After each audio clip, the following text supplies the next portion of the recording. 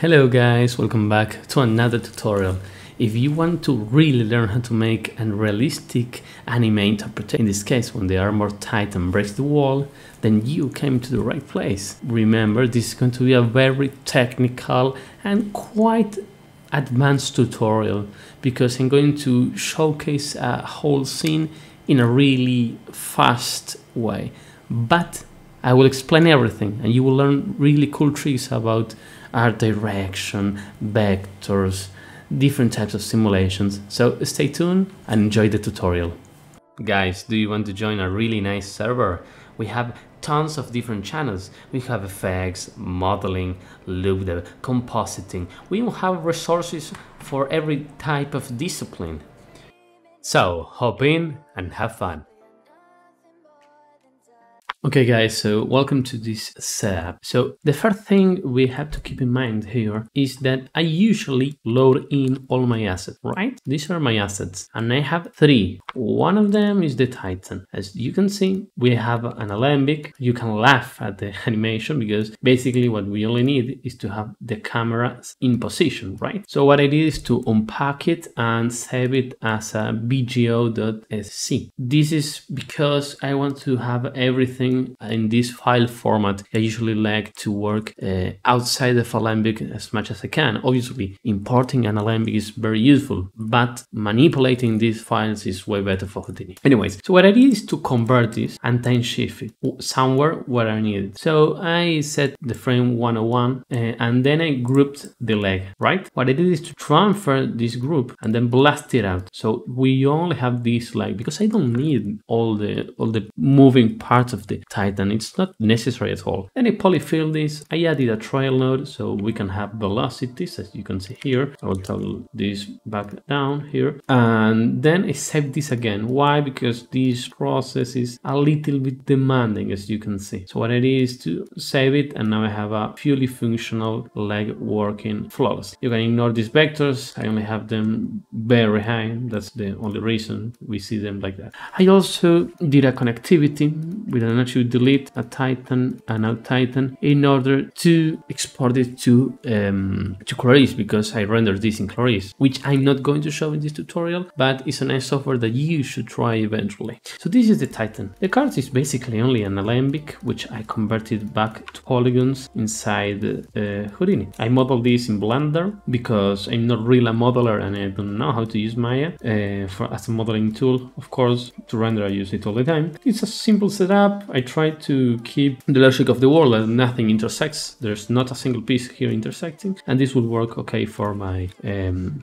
rigid body simulator. Then we have a barrel uh, setup, which I created. These are all procedural. The, the idea of the, of the tutorial is not to get into these procedural stuff, it's to get into the effects. But basically what this creates is, uh, well, it's a procedural barrel. It's nothing more than that. Now, so let's go where we want. Then the next step is to create a collision. I always create the collisions on a separate section and I usually color code it uh, with a green color, right? So let's hop in. This can be a little bit hard to comprehend because what we usually do is to create a, um, a collision source and that's about it. We export the polygons and the volumes. But in this case, what I wanted to do is obviously always at a timeline in case you want to have subframes and I have the polygons here. It is nothing more than this the polygons. And then I created a wrangle where I basically uh, got the length of the velocity hence the magnitude. And I created a divergence based on these parameters from 0.1 to 14, because maybe the, the velocity goes to 40 uh, it goes from 0 to 1 and then I multiply it by 6 this will create a divergence field which I will put it right here right so as far as I'm concerned, this is actually pretty cool. The divergence, what it creates is a positive divergence expands the volume and a negative divergence contracts the volume. It's pressure basically. If we have uh, a drawing like this one, uh, where this is high pressure and this is low pressure, where is going to go the, the smoke? The smoke is going to go into this direction to fill this pocket. So in the volume rasterize, what I did is to create a huge velocity field, which I might consider increasing this expansion field as well. But this is a velocity, uh, basically it's only the velocity, which we already have here. Rasterize with this function, so I control the particle scale and the coverage scale divided by 4 to have a more controllable environment. And what I did here is that the scale is very, very big. I can increase it even more. Why this works? Because now the velocity is huge compared to the to the foot. So it creates like a big drag motion, which is awesome for big scale situations. That's why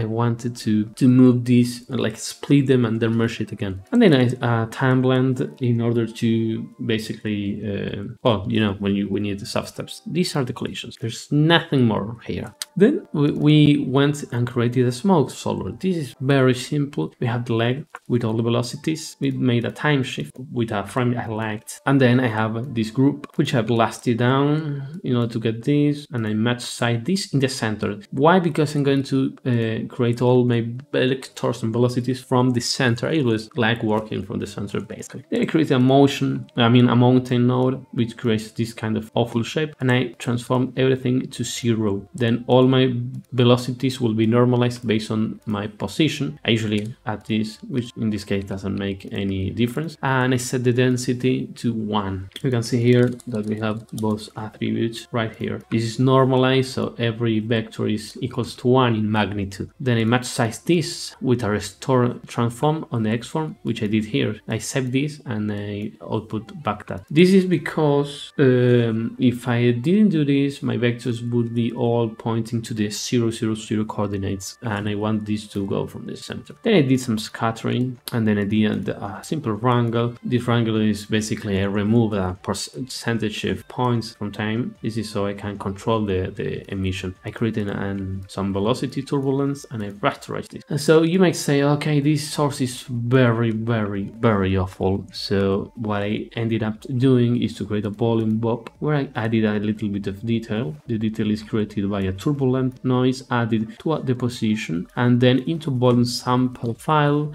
based on the primitive name which is density and then I output it back to the volume output. I also multiplied uh, my now distorted uh, volume by our density field which was 1 see? So I only did this in order to fill out fill in a little bit of the gaps but I could totally just delete this. It's I know it's artistic direction you know? You can do whatever you want here so I only um, I only visualizing density. This is oh, okay. I'm not sorry. So I'm not visualizing the density. I'm visualizing the speed right now, and I convert all this into VDB. This should be set that way. Expose attributes. So this is the velocity. I mean, this is the density, and the other way around is the velocity. It doesn't make sense. It's it, you don't need to uh, use this now. This optional. Then I have a simple switch. This is an old trick. Many of us create this in order to just use it when we need it. In this case, uh, I start my simulation on frame one, uh, 1021. Uh, so let's hop in. This is only this source. This is what I did before, which I showed you. The density and the velocity is only set to 0.3. The sparse is, well, I have a, a maximum uh, bounding box set to this shape because I don't need to actually uh, use all my, my sides here. I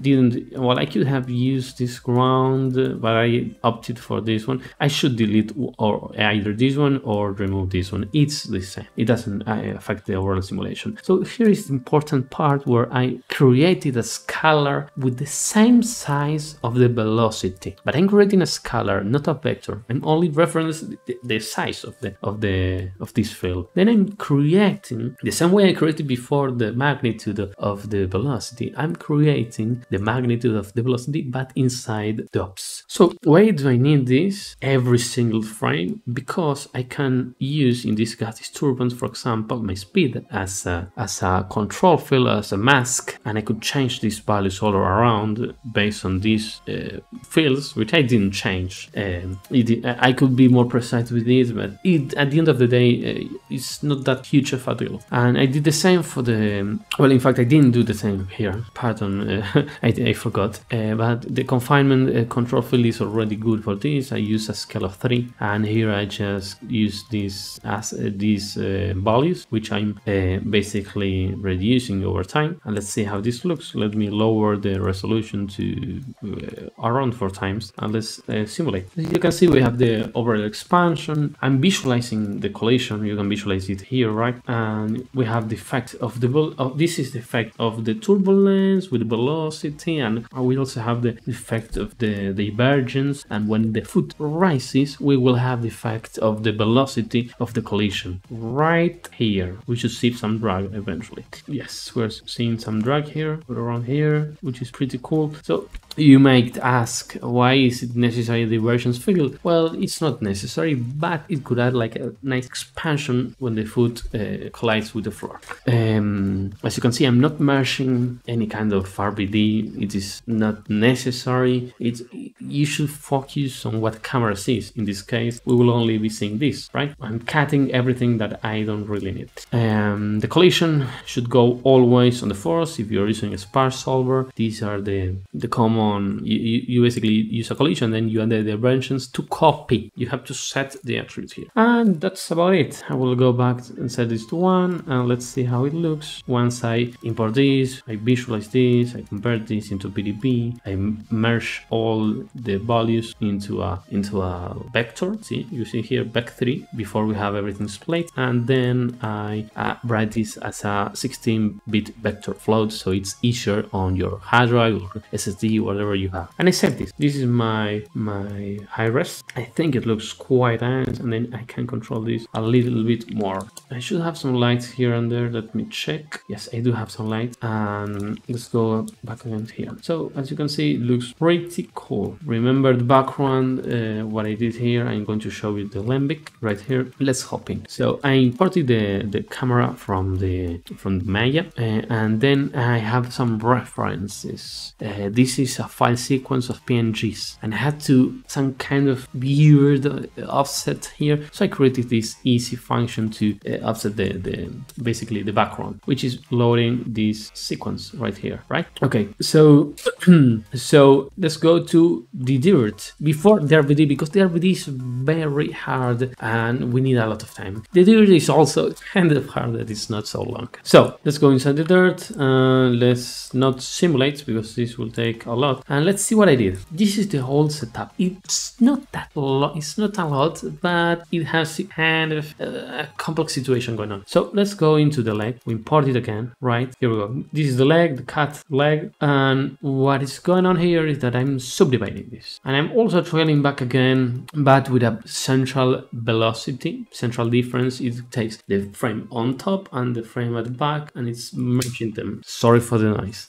and the attribute paint, this is the most interesting part where you are going to like a lot because you can actually add direct where you want to have, for example, the trains when the talon lifts on in the, in the sky, right? So I'm going to use a time shift for this. We do have our mask right here, which we can see, and I'm using a scatter essentially where we have these um, previous uh, masks. We can see it here. And then what I'm going to do is to interpolate this based on these two attributes, which is basically the number of the primitive and the location in the view space between that primitive. Since these are the same here and here, it's going to interpolate perfectly. I usually use this method um, before using what I uh, what I call the point deform, right? This is faster, it's, perfect, it's not more precise, it's perfectly precise. And what I did here is to have an idea over the points and a p-scale of 0.004. This is very important for a grain simulation, which in this case is a pop grain simulation, if I'm not mistaken. Let's see. So I also created uh, the talon source, which is the bottom surface of the foot, uh, which I have the talon base. Here is the talon base here, right? Uh, which is basically this one. And then I also have this again, and I also have this again. But why do I have three times this? Because first of all, I want to have an offset of one. As you can see here, we have an offset of one frame. Let's go to a more interesting or more appealing frame. So perhaps this one. As the foot moves, we can see that the points also change. These are the previous and these are the normal. What I'm doing here is to actually lerping between these two guys, between the original position and the last position. I'm going roughly here because what I want to have is, since I always have the, the same ID points here, here and here is to have two different positions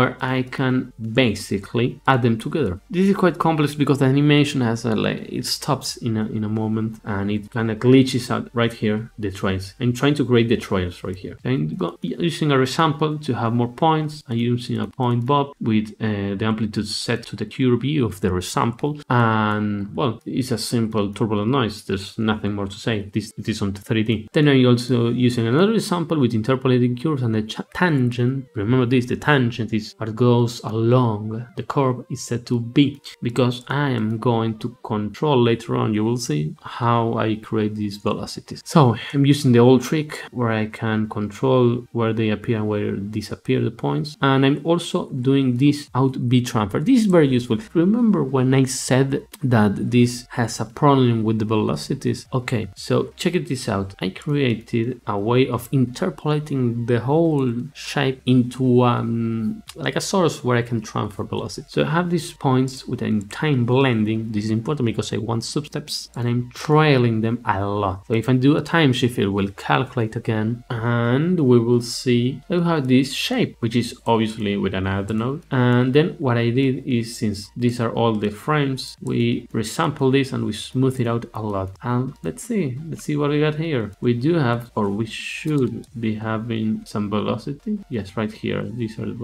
So let's watch them. Well, we should watch the velocities without points, right? Or with this node, in fact. So as you can see, all the velocities are quite smooth right here, and we can transfer this with it on our sources. So what I did is to transfer this out. So we have basically, instead of this, we have this shape, and we do have this condition, which is set to default. In fact, we could uh, even uh, remove this angle. No, wait, we could, no, remove this resample velocity since we're already transferring the, this back on. So I'm also multiplicating the velocity by a little value of 0.4 and I'm removing all these attributes which I no longer need and it could complicate a little bit the sourcing. On the left side we have the ground source. Well, this is very very interesting. This part, of, in fact, uh, try to take down notes because you could get lost here. So we have the grid, right? And we also have our layer. We time shift it again wherever we need it and we blast what? We blast the ground and we extrude volume this a little bit on top because here we have, remember the old trick, we will paint where we want to emit. We will scatter, we will add a noise and we will remove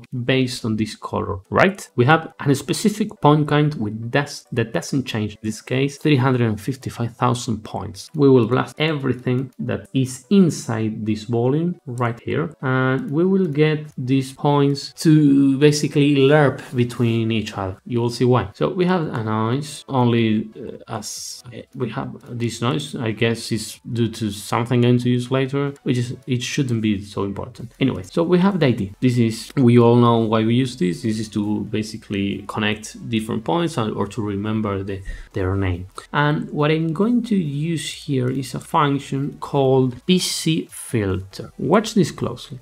When what I'm doing here is basically grabbing the overall uh, point cloud, which is this one, and I'm telling, hey, what points are you near from these points? So this guy is going to say, if I'm going to draw this, uh, hey, I'm this point, my nearest point is this one. Hey, I'm this point, my nearest point is this one. Okay, okay, so if we have this, we're going to say to what radius I am nearby and how many points. If we have two points, for example, it will look the, the, the, the our point and an, another point, right? So it's going to basically have a direction. And what I'm going to use is to, hey, please, my position, which is every single point here, has to be now what the position which I found on the PC filter, which is basically a blur between the values I found. So why do why do I make this? Because as you saw in this picture, we will move this point over here because then we can create a simple direction uh, vector. As you can see here, I basic this is this is basically a velocity uh, set to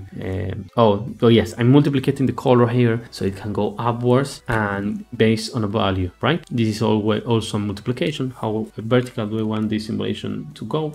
And uh, I'm also normalizing the horizontal based on what? On my first uh, position, which is the original, and the position I have based on the ID on this one. So I'm creating vectors based on the surface. All these are going to go to the surface. So instead of using the old trick where we have the points flowing outside from a central position, I'm doing another trick which is way better, which are the points flowing outside of this. Basically, imagine it as, an, as a normal surface. So it will be more precise in the simulation. Then I, my velocity is getting multiplied by the vertical settings I have, uh, also by this value, uh, which is basically multiplicating the overall setup. Now it's one, so it's not doing anything. And I'm adding the horizontal because I want the, the foot when it, it steps on to do like it goes outside. I don't want it to go vertical, but a little bit open so it can create like a, the scale and the shape of an actual foot stump. I'm also multiplying this uh, by this value, the horizontal one. So these two are together and these two are together. I multiply it in the horizontal and the, I mean the horizontal and the vertical. So I can have the full control. I'm also creating a simple uh, noise. This is the, the old trick. And I'm also using this one to delete wherever we need and deleting all the points I need. So I'm merging these two guys together. I'm also doing a time blend between uh, the sources, the talon and the, the foot. And the simulation is basically this, this one is uh, I'm inputting all the, the grains. This is the source back here. Then I'm using a pop grain with uh, 80 constraint iterations so it can handle uh, well basically the, the, the collisions a little bit better. And the clamping is set to 1 and 100 so we can have like when it's pressed out it's it's not random. Some things will go like tighter together. I could use a mask for this which I didn't because I didn't see it as necessary. There's nothing more here. I'm basically using uh, the the old and, and trustworthy uh, sprites which I'm using a pop drag basically every single particle that is going upwards will have a resistance so it will go and stop. But when it goes down the resistance will be way less because in the anime this is basically our direction. It goes up stops and then it falls down even quicker. The, i'm also using uh, a pop advect uh, volumes. I'm using the old uh, smoke simulation to back this so you can have a little bit more of a natural dynamic. I also multiplied in this scale based on the y direction. From zero meter, meters it will be zero effect. And two meters is going to be an effect multiplicating one by eight. Nothing else here. I'm using the, the static object to load in the, the holy call uh, of the leg and a ground so the particles jump on the ground. I could use the RBD that we're going to see later but i decided uh, not to do that and nobody is going to do that. And i have a simple gravity of uh, 0.6 uh, remember uh, we can fake things uh, in order to give out a bigger scale. And that's about it.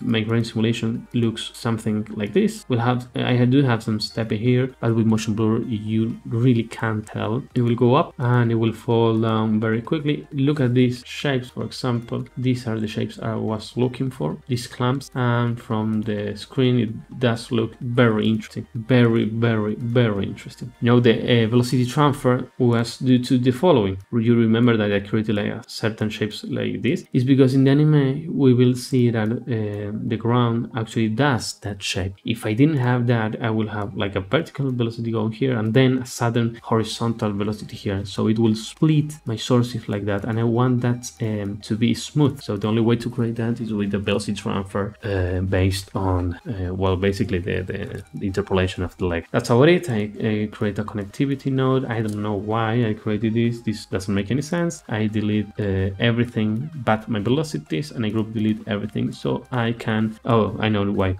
because I'm exporting this to Clarisse so that's uh, the third section. So guys let's go into the RBD this will be very interesting and long very long.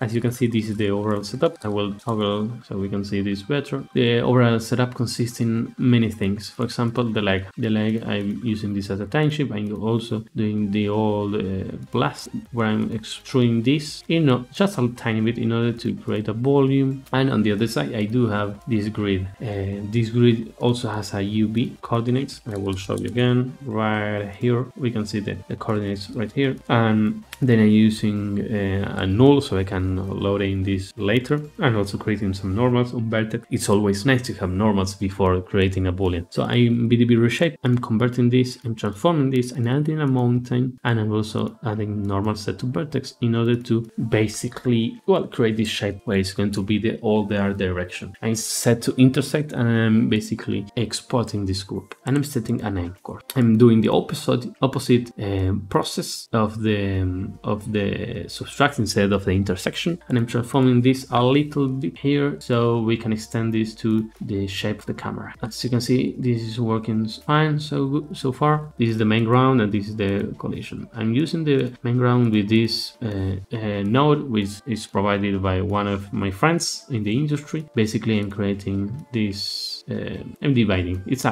a, a, subdivide. I mean, it's a divide node with the break option, but it's based on the bounding box. Um, so what I do here is now to create the base um, sections of this uh, boolean. I'm going to show you the name. This is only one thing. So I'm creating the based on the foot a line which is set to the bounding box. I'm also sketching some points which randomize normals as you can see here, and I do have a, a ground set with a mountain and copy to point this thing out. You would ask why? Why are you doing this? And why are you merging a horizontal line? Well, basically because I want to uh, boolean this out. I'm also blotting everything that is not inside this shape because I don't want to waste resources on these effects. This is very easy to follow and I'm basically uh, basically boolean this out with the append. I should have a, a prefix which I didn't use. I don't know why, but it's here. Out first booleans, I will import them back here and I'm going to measure. This is a simple trick. I'm basically using uh, this measure uh, node set to volume or area, or whatever you want, and then I'm using a paint function to split between, uh, you will see here, to split between a and threshold. The threshold is set to this one. This is an old trick uh, I learned on one of the Sigma, the CGMA courses. Well, these are the big pieces and on the other side we'll have the small pieces. I will also set the name original equals to our name. And what do we have here? I will call one piece and so we can check it out. So this is one of the pieces. I'm going to remove the the, the UV effect and I'm go going to explode everything that's not an A poly, hence uh, it's not inside. So it's the surface and I'm going to get all the edges on so all the unsharp edges. Um, I'm also going to set this edge curve. This is a very interesting uh, labs tool, very useful. And I'm going to scatter some points on these edges. Then I'm going to also VDB from particles and I'm going to convert this, mountain it a little bit and then boolean based on this. So now we have the borders. I'm also going to do a little bit of a reshape and grab everything that's not, I mean, everything that's on the edge. I'm also including this one, but I will, you will see that I will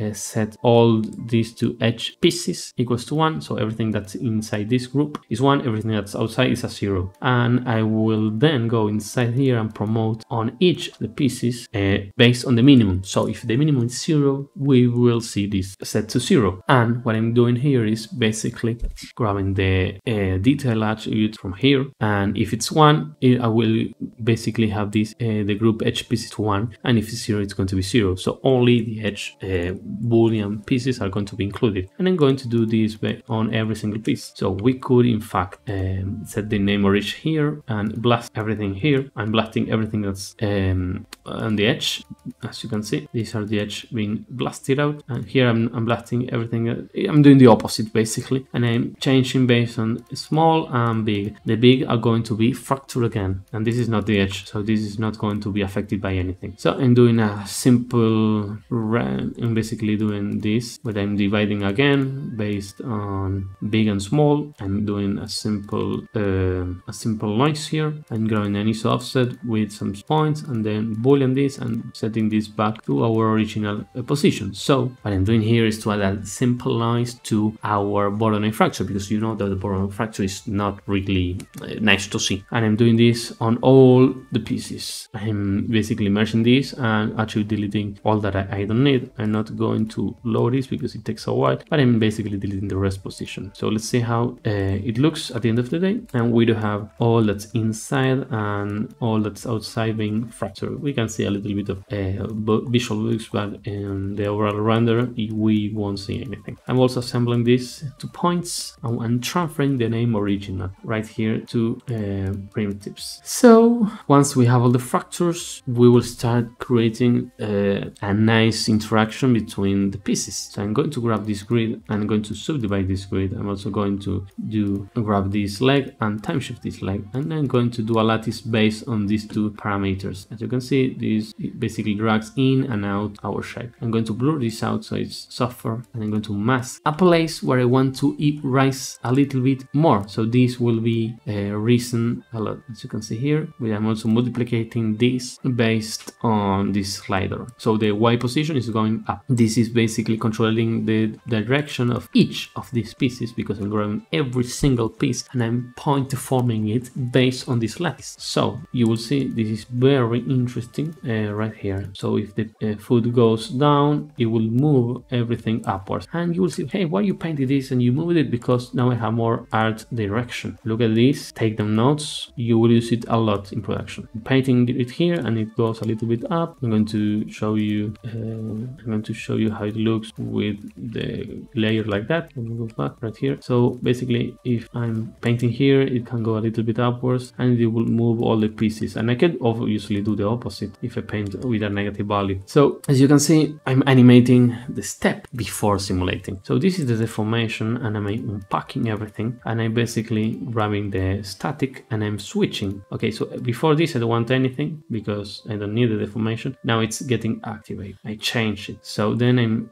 also doing a time shift with the frame 137, which I really like a lot. And I'm switching right here because after this section, the shape breaks and I don't need this to break. I need this to set set here. And I'm also grabbing uh, shape, which is the first one, which is the rest position. And I'm blending between these two guys a little bit. So it has like this motion going, it's, it's barely noticeable, but you will see it better here. When he raises the foot, the rocks go a little bit downwards. So this is my whole sim simulation. I'm also extracting the points based on the name. So I'm packing this just in case. It doesn't matter if you don't have any uh, uh, primitives, but what I need here is basically the name attribute on set prims. And I will need this uh, here too. And I'm extracting the points because this is, as you can see, very heavy to load. So all the points look like something like this at the end of the day. It's not an, a simulation, it's only an animation. Then I'm using a transform pieces to create the movement of the low poly and I'm creating the velocities and I'm also creating what is going to be the initial status which is going to be animated and active set to zero. I'm also going to use the primitive so we can make this a little bit smaller so we don't have so much collisions to begin with. And I'm also creating this rest position based on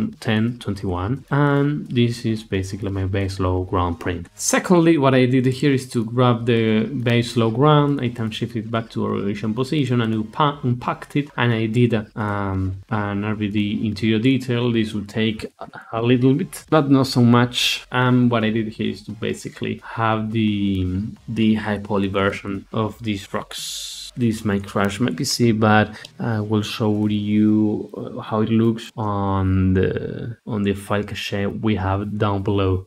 So as you can see, everything that was not A inside B, this means that everything that is not the top will be affected by this noise, which is very, very interesting. Forget about these uh, shapes. I'm not going to see them. You will not going to see them once this is rendered. Let's go here where this is packed and let's do an exploded view. And let's watch how this looks. This looks quite nice. This is the high poly version. So let's see how it continues. Well, we need to create the card or to bring in the card. This is the card, right? This is the, what I modeled and basically I'm creating a name based on the path because I exported this with path, right? So now my name has this uh, context, is the same as path. My wrangle is going to say, okay, uh, add a card and add uh, something based on the Itoa, basically the class name. I'm modifying this based on the um, point count. So we have 38 pieces here. And I also creating this original name just in case because we're going to use them in the um, constraint creation. Uh, this is the card, this is the hive. I didn't do any fractures, but I still created a fracture section. And let's go to the to the overall uh, constraint section. So this is the card, right? It's still not moved into place. It doesn't really matter, but I'm going to split between uh, this section and the the wheel because I want to control the wheel separately. So I'm going to promote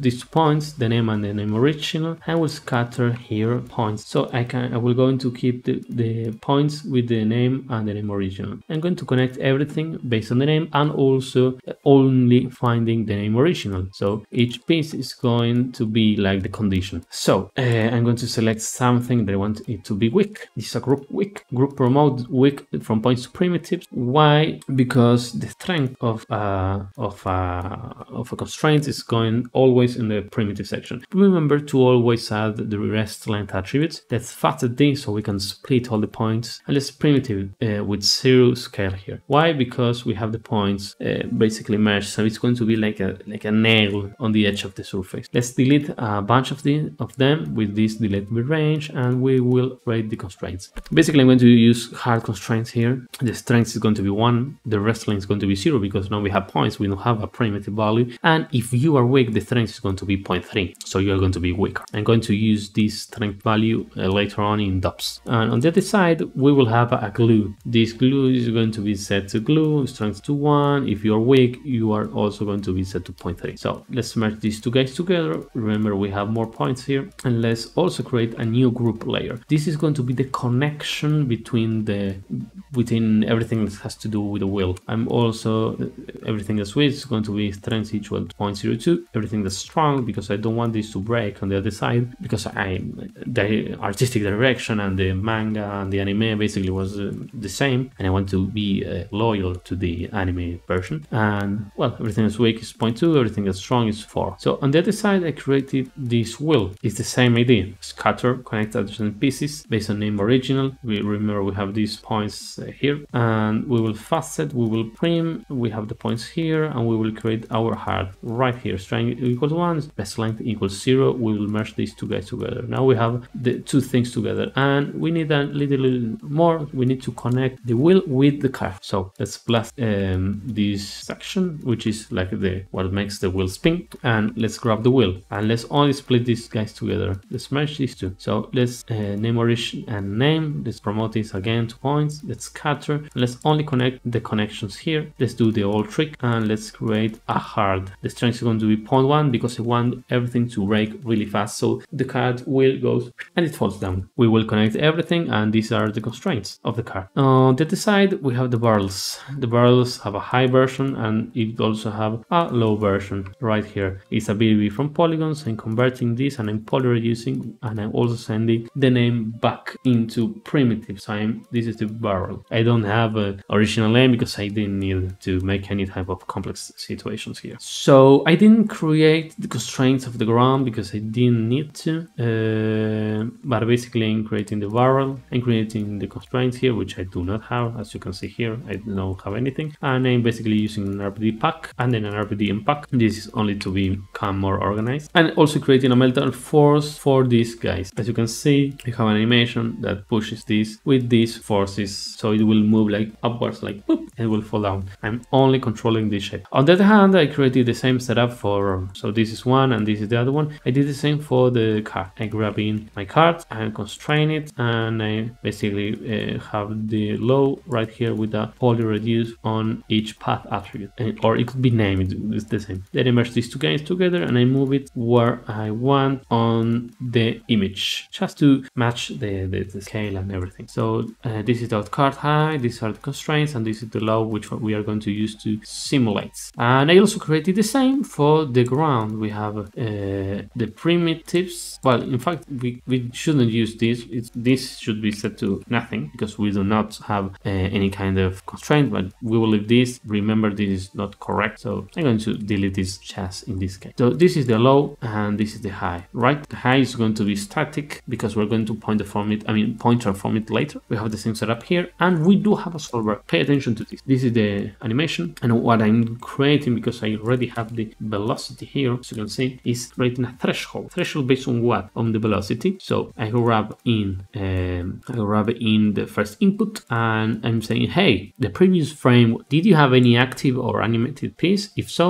copy it. And hey, so uh, create me the magnitude of the velocity and then if the position on the y-axis is bigger than 0.1 and I mean and if the y position is bigger than 0.1 or the magnitude is bigger than a certain threshold then i equals to 1 and animated equals to 0 so i'm basically injecting this into an active state inside dops and then i'm copying this back again. So if you are not the edge so uh, yes basically if you are not the edge transfer these attributes. Otherwise keep yourself at zero. I only want the small pieces to be activated and the big pieces to be art driven by me. So it will look kind of my animation that will have like some spicy things going on uh, when it comes to simulating.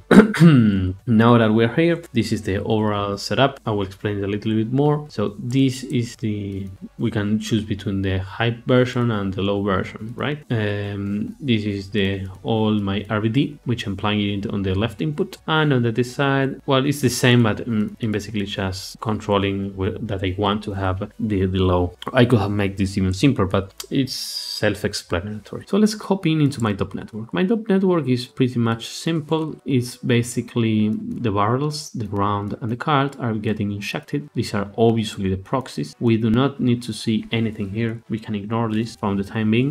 And we are loading in the hard. The glue are not getting low but we could we could load them. I'm basically loading in based on hard and setting the guide options to zero because it's very annoying to visualize the constraints with uh, one because we have big figures so these are the constraints and i'm creating a subsolver. Remember this i have to rbd out constraints everything out. So this uh, will be set where okay the constraint group is basically uh, here. Out card constraints. Out card constraint because we only have these constraints. Otherwise I would merge everything in RBD together and create a, a nucleus like a central constraint network. So these are hard. So what I do is everything that is if your angle is bigger than the threshold multiply by the strength which I previously have. So if the strength is 0.1 and we have 0.5 so it's going to be 0.05 but uh, multiplied by 0.1 so the threshold is going to be really small and if the angle is big enough it will break. So the wheel will break first because we had the waypoint set there. That's how it is i'm going to remove the primitive that uh, has this uh, set to like true. If this is true it will remove the, the primitive. So now that we have that we can focus on this subsolver. Basically basically basically what i'm doing here is if you're uh, the, if the rbd is getting activated this is the activator. Remember that and if we are going above uh, uh, the y-axis and the velocity is big enough let's activate this. Because my original simulation my original um, uh, ground is set to inactive is set to uh, to animated. So I, I have to control the, the, the animation somehow. And the way is to transfer what I created with my activator to my original piece right here. It's basically a copy and attribute. And then what I'm doing here is to hey if you are called card and you are between these frames add a little force to the left side. So a positive set. Because I want to drive the card uh, a little bit to the right. So if you are in between these shapes between these frames you are going to go a little bit to the left side. It's only a little art direction idea I had. I'm also going to use uh, the pop metal force from the card which uh, I didn't show but it's basically the same as the the barrels. We'll see we have these two and it's only going to affect the card and here is only going to affect the barrel. Uh, we have these forces. They are equal. We have a drag which is 0.1 it's quite high but at this scale you won't notice. And I do have a pop drag spin so the pieces don't spin a lot. I do have wrangle here so it's basically hey if your uh, your point y is less than your uh, rest, rest position y minus 2 then remove the point. Basically I do have some pieces going downwards because here we'll simulate. Some pieces will fall down and if they go lower a certain threshold they will get deleted right here as you can see. This will make everything smoother and that's how it well, we also have the leg collation and we have a ground, which is basically uh, everything that's not the original RBD. Everything is set here and well, I'm basically dop inputting only the points. I'm saving this here. So the simulation is something like this. What is this? Oh, ignore this. And I'm uh, out RBD sim here. We can ignore this because this is only a way to port to Clarisse. This is using USD, which is not part of uh, the whole idea of the tutorial. So basically, these are the transform from the low poly. As you can see, it works just fine. We will use the camera. It works just fine. This is the card. It breaks, and that's about it. This is the high version. And then I'm splitting everything to the card, uh, to the ground. I'm exporting this if I, I want to have the possibility to export it to Clarisse, but I'm also exporting everything uh, here. This was an experiment only to basically copy and transform this into Clarisse. Um, this is the same thing for the low poly, but what I ended up using is basically an instancer, which is quite complex, but in creating points and I'm also creating the, the like the source source piece information and then combining this into an USD. Um, you can see this if you need. You are probably not going to need this anyways. So this is basically my RBD simulation. I also have a, little a little simulation and out of debris simulation, which is like a secondary uh, emission. So how did I create this? Well, basically I am grabbing my rocks, which are this one. These are uh, the rocks, and my rocks are based based on this. It's a box which has a match size. It's also getting transformed, VDB, and I'm deforming this based on the same trick, uh, but instead of using um, density, I'm using surface and I'm bind exporting the, the surface here, which has a turbulent noise set to add on the position. I'm also converting this here. I'm also doing a poly reduce and a match size. So we center this. This also has a poly reduce, so we can pack this low poly version and we can transform this set to the center and we will also do the same here. So we have both things uh, organized together. We will have uh, uh, our ground and we will unpack this and we will blast everything that's not the inside and we will only have the attributes we really need if this doesn't crash. I deleted everything as the normal and I will remove everything based on a velocity y threshold. So if uh, the, on the y you are going upwards, basically you're getting deleted. This is a very uh, consuming process. We have tons of geometry, but this basically masking everything that's going upwards. And I'm scattering points here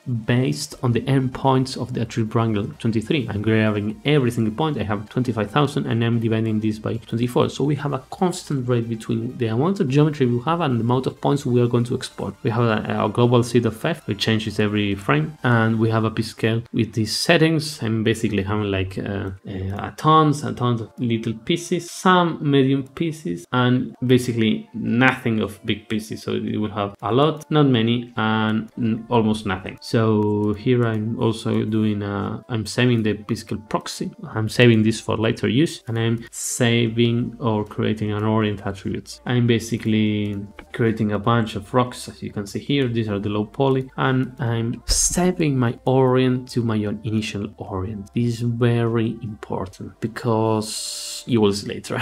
And um, i'm also saving the id of the i'm basically creating a name and this is the same as this one so i'm grabbing the ptnum and i'm creating an underscore and also creating an integer based on the frame so each piece is going to be unique from the previous frame uh, then i'm creating a velocity good going going upwards just to test. But we do have a velocity. We could in fact not even use this or perhaps use this which I created before, which is basically a threshold based on the y velocity. It's basically the same as we used before. You can turn this off because we do have velocities. This is, uh, yes, we do have velocity right here. If you can see this, I will delete the geometry but keep the points. And we do have the velocities uh, sourced by our uh, emitter. So now we have have all my points out of the points which are here what i'm doing here is basically simulating uh, based on my physical proxy these are the rocks which is this one this is the high and this is the low this is what we used to have and i'm using this as a sourcing method so what i'm going to use is based on this rock and based on this rigid body solver and meet and emit with all the points i created before all of the rocks i created here so these are everything i need each frame is basically being different from the previous previous one, and I'm instancing on the points uh, this rock. Since this is packed, I'm only emitting uh, RBD geometry, RBD packed geometry. So I have all the colliders which I had before. You can see um, this is the ground, this is the car, this is the bar, this is the leg, and this is the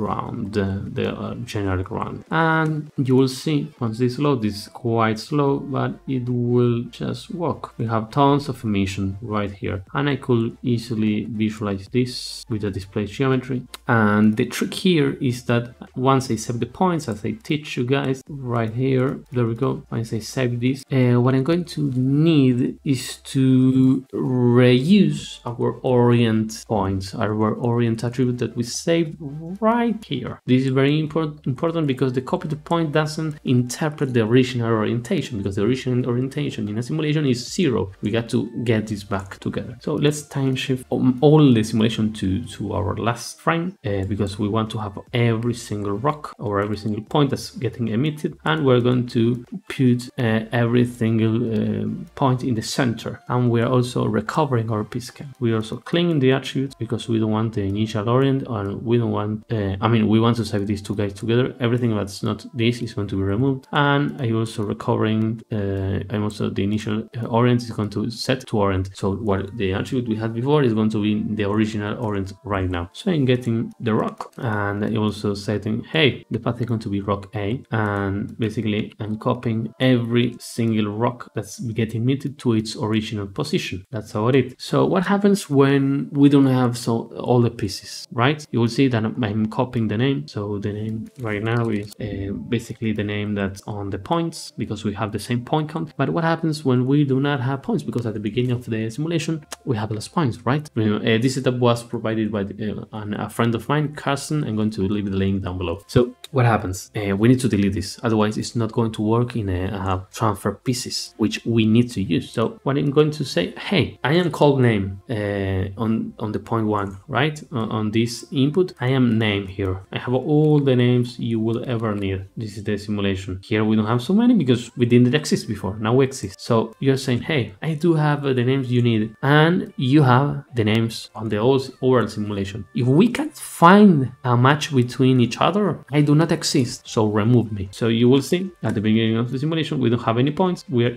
and these are getting created as time goes by. So based on this, I can then uh, copy and transform the pieces as equally as it shows inside the simulation. Well, I changed something on the simulation, so it won't look equal because I used to have uh, velocity set to one on the on the y-axis, but uh, it does indeed work at the end of the day, which is what we want. Uh, I'm exporting a point cloud uh, to Clarisse, and I'm exporting the overall debris alembic also as a, uh, as a new file to Clarisse. These are two different methods. You can use whatever you want if you're using Clarisse. And hi guys, so I hope that you enjoyed the tutorial. If you need help you have a question, please leave a comment down below. You can also join my Discord server, link down below. See ya.